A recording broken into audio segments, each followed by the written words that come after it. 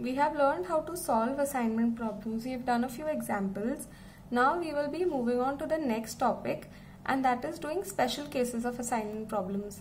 Now here uh, sometimes you have some sums which have certain special conditions थोड़े अलग conditions होते हैं और इन conditions से कैसे deal करना है और फिर उनको कैसे solve करना है वो इस part में देखेंगे ओके okay? तो ऐसे चार टाइप के स्पेशल केसेस होते हैं जो हम पढ़ेंगे पहला जो है that is unbalanced assignment problem now in an unbalanced assignment problem the number of rows is not equal to the number of columns as in इधर जॉब ज़्यादा है या फिर वर्कर ज़्यादा है.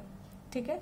तो वो ऐसा ऐसे प्रॉब्लम आता है सॉल्व करने में क्योंकि हमको तो सिर्फ़ आ, जब स्क्वायर जैसा होता है as in the men are equal and the jobs are equal वैसे वाले क्वेश्चन सॉल्व करना आता है अब तक. तो अगर ऐसा प्रॉब्लम आया तो उसको हम अनबैलेंस्ड असाइनमेंट प्रॉब्लम बोलते हैं ओके? जिसमें रोज एंड कॉलम्स इक्वल नहीं है ओके. अब इसको सॉल्व कैसे करना है तो अगर हमारे पास ज़्यादा आदमी है और काम कम है तो हम एक्स्ट्रा काम ऐड करेंगे और उन काम, वो असली काम नहीं है, हमने अपनी तरफ़ से डाले तो we call that as dummy jobs okay dummy word use करते हैं उसके लिए। या फिर if we have more jobs and we have fewer men then we will add dummy men okay तो unbalanced assignment problem can be balanced by adding dummy resources resources as in men और stuff like that and next और task मतलब हम काम ज़्यादा डाल सकते हैं। तो इधर वी कैन ऐड रोज और वी कैन ऐड कॉलम्स ठीक है? लेकिन जब हम इधर ऐड करते हैं, तब उसमें कुछ कॉस्ट भी भरना पड़ेगा। For example if I look at this table ठीक है? इसमें मेन कितने हैं? चार। और जॉब कितने हैं? सिर्फ़ तीन। तो मुझे एक डमी जॉब डालना पड़ेगा डी ठीक है? ताकि ये फोर क्रॉस फोर हो जाए। तो इसमें कॉस्ट क्या भरूँगी मैं? तो एक्चुअली अगर ऐसे सॉल्व करना है तो हम यहाँ पे सारा ज़ीरो डालते हैं। ठीक है? क्योंकि ये काम हो ही नहीं सकता राइट तो इसके लिए क्या कॉस्ट लगेगा? मैन वन को भी ये काम करना है तो भी ज़ीरो कॉस्ट ही लगेगा। मैन टू को भी ये काम करना है तो ज़ीरो कॉस्ट ही होगा। वो है ही नहीं असलियत में। हम सिर्फ़ सॉल्व करने के लिए वो डमी रो को ऐड कर रहे हैं। ओके अब एग्ज़ाम्पल देखते हैं। तो पहले उसको कैसे ट्रांसफॉर्म करना है वो देख लेंगे। उसके बाद पहले जैसे हम सॉल्व कर रहे थे, उसी सेम तरीके से हमको सॉल्व करना है। ओके अभी पहले क्वेश्चन में हमारे पास चार मेन है। and we have three jobs. So what will I have to do? I will have to add an additional job. तो उसके लिए we will have to write इधर कि there are four men and three jobs. This is an unbalanced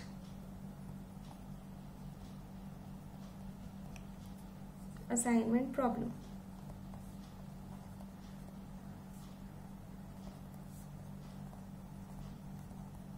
Okay, to balance it,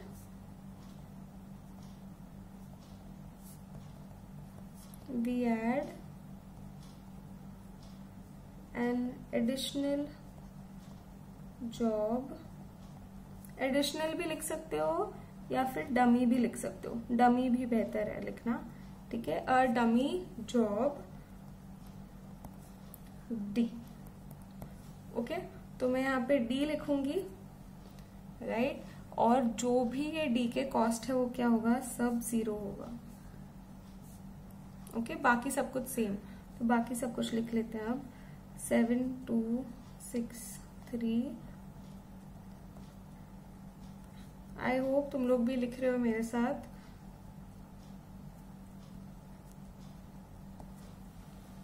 Okay okay? अब क्या करना है? Same तरीके से जैसे हम पहले सॉल्व करते, वैसे ही सॉल्व करना है। पहले हमको स्टेप वन क्या है? Subtract the minimum of each row from the respective elements of that row so step one वो लिखना है। एंड नाउ पहले रो में minimum is two so this becomes five zero four one next इधर minimum is three तो zero four then we have two and one next minimum is three so this is one two and this is four and last में वैसे भी सब कुछ zero ही है।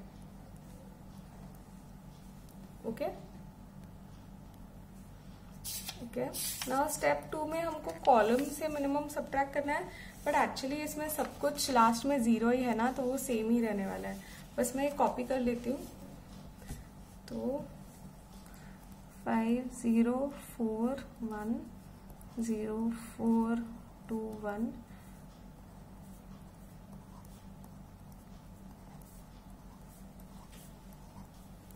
okay now हमको स्टेप थ्री करना होगा इसके बाद। That is making lines okay so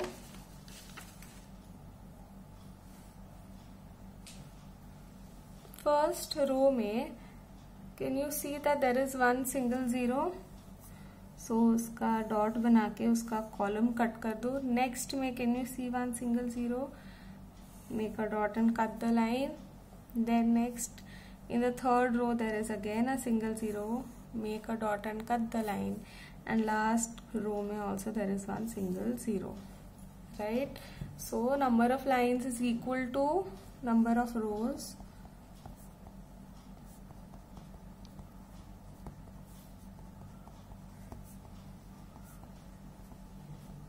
Okay?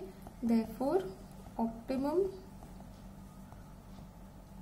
solution और असाइनमेंट जो भी लिखना है assignment is obtained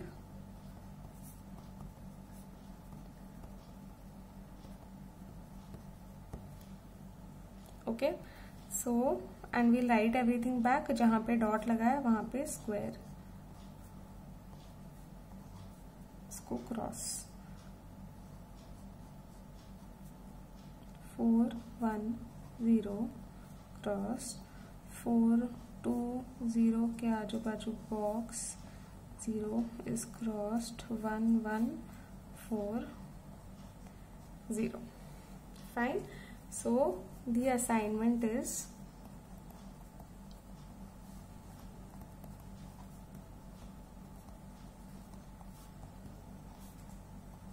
as follows. Okay.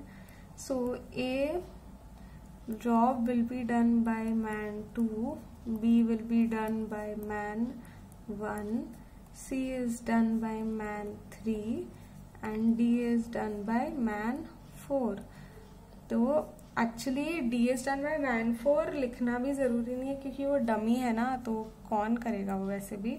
तो ये नहीं लिखेंगे तो भी चलेगा ओके okay? एनी anyway, फिर मैन टू का कॉस्ट इसके लिए हमको क्वेश्चन देखना पड़ेगा। मैन टू अगर ए जॉब करेगा तो टू है, फिर three and three okay so two three three